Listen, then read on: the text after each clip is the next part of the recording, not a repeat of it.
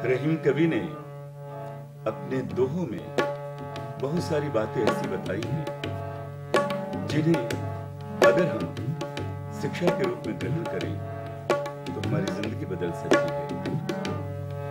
दोहे बहुत सरल, सुंदर, मनोहारी और मन को छूने वाले हैं। इन दोहों में अमृत है। इन दोहों के पास अगर हम चले आए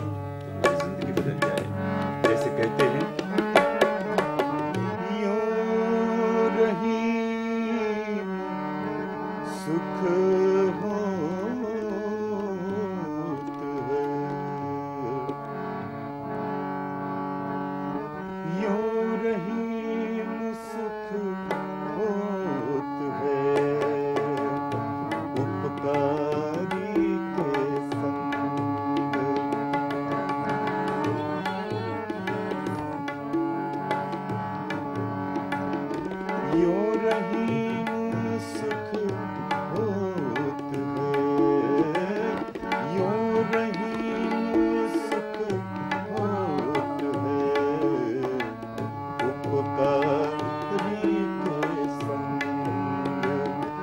மாட்டன் மா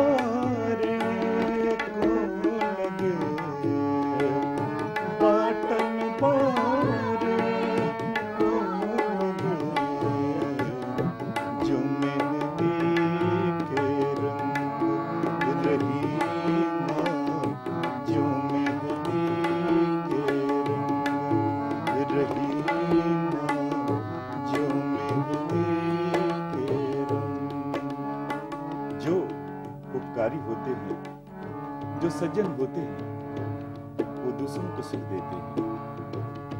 दूसरों को सुख दे करके अपने संतुष्ट होते हैं। जैसे मेहंदी कोई दूसरा लगाता है, लेकिन जो मेहंदी देता है, उसका हाथ भी रंगीन हो जाता है। मेहंदी उसे भी प्रसन्न कर देती है, जो मेहंदी बांटता है, उसी तरह से जब हम दूसरों को सुख देते हैं तो स्वयं सुखी हो जाते हैं।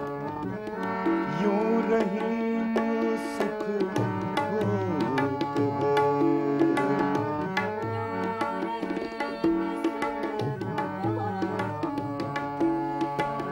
उपकार